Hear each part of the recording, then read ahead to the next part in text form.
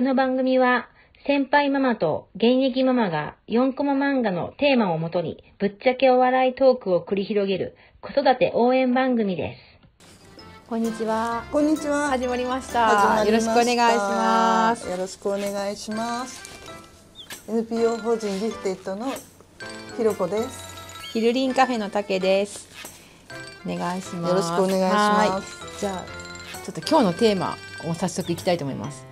えっと昔は落ち着きがない子、今は発達障害イコール多動がある子。というのをテーマでいきたいと思います。はい。はい。えっと四コマ漫画では我が子のちっちゃい時の大変さを表現したんですけど、はい。まあ振り返ったらいないというようなはい。ぐらい動いてたんですよね。はいはい。ですっごい大変で、はい。買い物行っても遊びに行っても目を離したらすぐいなくなるし手つながないし、でまあ今その発達障害という概念が広まってうん。流行ってうんうん。でなんかこういう子は全て多動でうんうん。発達障害の枠に入れられてしまうけれども、なんか観察してると、大人でもいっぱいいるもんね。うん、私も多動だと思います。昔から言われてましたけど。ね。はい。体の多動もあれば脳の多動もあるので、はいはいはい。多動の子たちって体が動く子たちって脳の回転もすごくいいから、先に先に先にって言ってしまって、思考がね、目の前のことが見えてなかったり、うん。それで、えー物を倒したり当たったり、うんうん。えー壊したりうん忘れ物したり、うんうんうんうん。そういうことが起きてくる。うんうんうんでもなんかそういうところを、ううん。ん、と問題と捉えまあ問題問題なのは問題なんだけど、うんうん。その子の資質をちゃんと見て、うん。観察して、うん。それに対応する対策うんを考えてほしいなと。うんうんうん。前回も言ったようにお薬をだから飲ませましょう。んうん。うでじっとさせましょう。は、まあ私的にはちょっと違うかなと。うん。そうですね。お薬で止めるようなものではないですよね、はい。本能で動いているので。はい。はい。ねうちはあんまりこういう感じはないなかったのでわからないけどでもデーの子たちがやっぱりたくさんいたので放課後デーね。はい放課後デーで働いてた時ですね。だからまあまあでも興味がすごいあるんですよねみんな。そうそうそうそうそう。もう先々先に先にその興味のとこに行きたいから。でもそれは学校でも NG になっちゃうのでね。やっぱり問題児っていう形でやっぱり学校でもですね。そうそうそう。でスクールの子供たちで、うんうん。あの大体こういう傾向の子たちは、うんうんうん椅子を、うん。なんていうとこう前前足をこう浮かせて、後ろ足にあカタンカタンして。そうそうそうはいはいはい。いましたね。カタンカタンカタンカタンいました。やってましたよね。はい。あとペンですね。そうそう。カチカチカチカチ。カチカチ。何人かいましたね。はい。男子の方が多いかなって思いますね。ちょっとですね。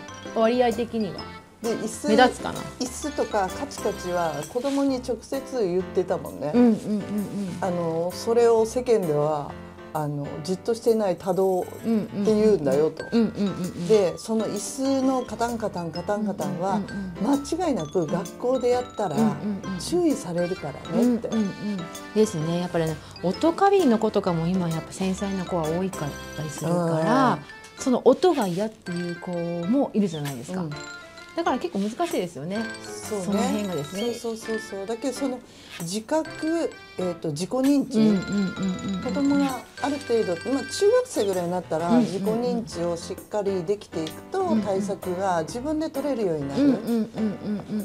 だけこうカタンカタンあここが気をつけないといけないことなんだなっていうのがうん。本人が分かりさえすれば、自分が意識するようになるし、このカチカチカチカチも、そそうそういうとこよみたいなことをよくそうですね、うん、伝えてましたよね。何かにこうぶつかるとまあそれをなんかこう経験で、うん、うん、こうしたらよあのちょっとできるようになるとか。なんかそれなりにこう忘れ物とかもですね。なんか付箋を貼っとくとかこう、うん。目目で目で見えるとこに。傾向と対策。そうですよね、うん。それは大事だ。薬とか、うん。あとは本人を怒り続ける、うん。注意し続けると、うん。もう間違いなく自己肯定感は下がってしまうので、うん。注意し続けるんじゃなくて気づかせる、うんうんうんうんうんでどういう傾向と対策対策があるか、うん。や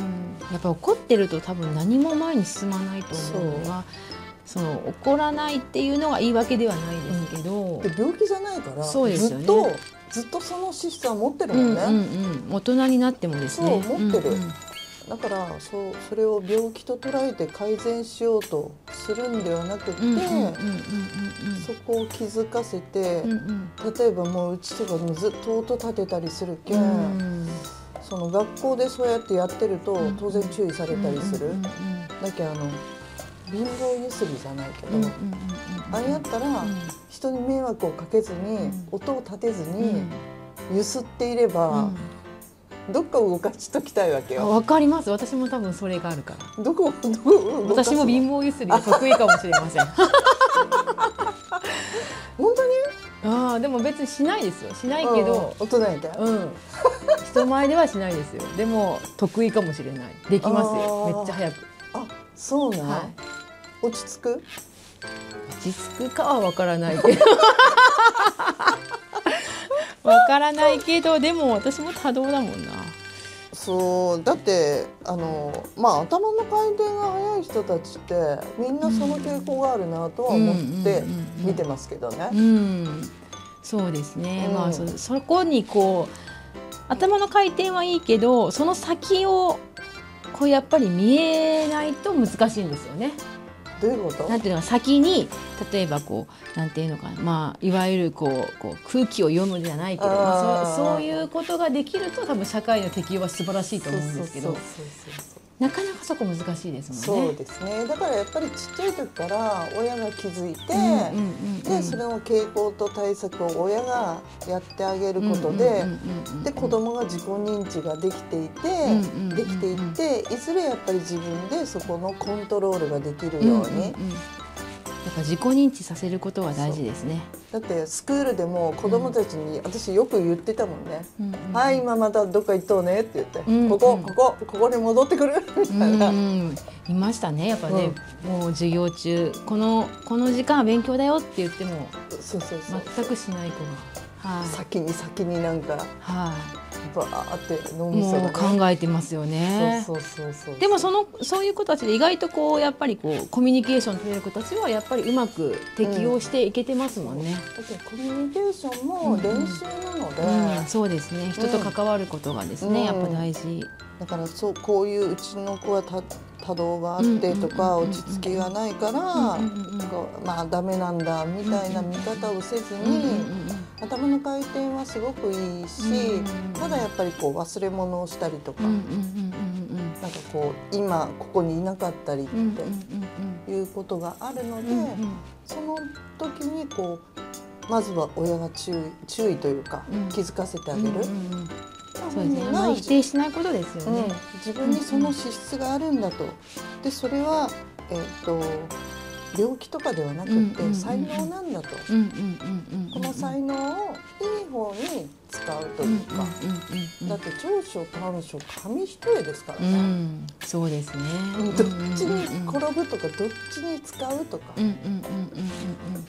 なんかでも学校とかに行くとどうしてももう抑えて抑えつけられてしまう傾向があるから、集集団だからね。ね、だからやっぱりこう安心できる場所とかに行って、うんまあ、この子がこうなんですかね、まあ、キラキラ輝けれるようにこう周りが助けてあげるっていうのも大事かもしれないですね。うん、もう支援は支援とかサポートをしてその環境を作ってあげる、うんうんうん怒らなくていいお薬飲ませなくていいようなサポート体制をしっかり作ってってってほしいなってうんうん思いますよね。そうですうん。ねだってあのテレビに出てるなんか有名な人たちも多いよ。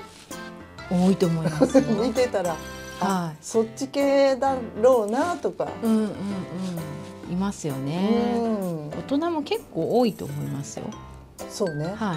大人もね、うんうんうんうん まあ今は発達障害って言われてしまいますけど。そうそうそう本当にこの言葉は良くないよね。まあまあ。個性ですからねうん。本当一つの。まあ、そういう枠をどうしても作らないと、その支援っていう行政の支援とか、まあ、うん、そうね社会的な支援っていう時にこの発達障害という言葉が必要かもしれないけれども、うんこれを子供に向けないでほしい。そうですね。なんか必要な、利用する分はこういうこんなこと言ったらいけないけど、いけないかもしれないけど。活用ね。活用活用する分は全然いいと思うし、まあそれはお母さんたちの考え方次第だと思うんですけど。ね、なんか、S、最近の SNS を見てたら、うんその子供が見るであろうなのに、うんうんうんううちの子はこうですとか、障害があってとか、そういうふうに発信してる方の情報をこう目にすることがあると、うんうんうんうんうんね、それは気をつけないと子供が何が良くないかっていうとですね、子供に向けてその言葉を使い続けてると、うまくいかなくなったことうまくいかないことが起きた時に、自分は障害者だからこれができないっていうような考え方、うんうんうまくいかないのは障害があるからだと、うんうん自分で囲いを作ってしまうので、伸びしろを自分で潰してしまうというか、そういうことが起きていくんですよね。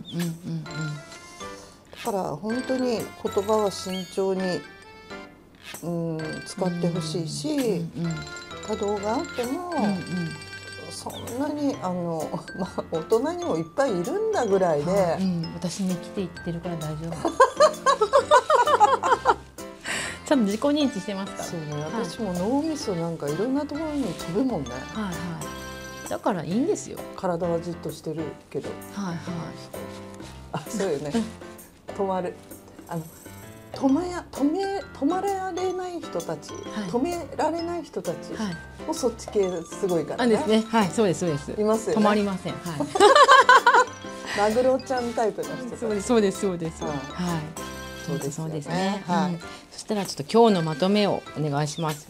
はい、えーじっとしている子もいれば動き回る子もいる。動き回るからといって怒ったりお薬でじっとさせたりしないで環境を整えましょうということで、うんうん。そうですね本当。ははい。い、じゃあえっとインスタグラムがですね詳しい活動内容はインスタグラムで発信していますのでぜひチェックしてみてください。えっと12月25日月曜日がえっとヒルリンカフェでクリスマスパーティー今年最後のイベントで小中高生の居場所をやるんですがおかげさまで満員になって満席です。ありがとうございます。楽しみたいと思います。楽しみ はい夏、ありがとうございます。はい、じゃあでははい次回またよろしくお願いします。ろしくお願いします。はいありがとうございます。ありがとうございます。さようならさようなら。ごきげんよう。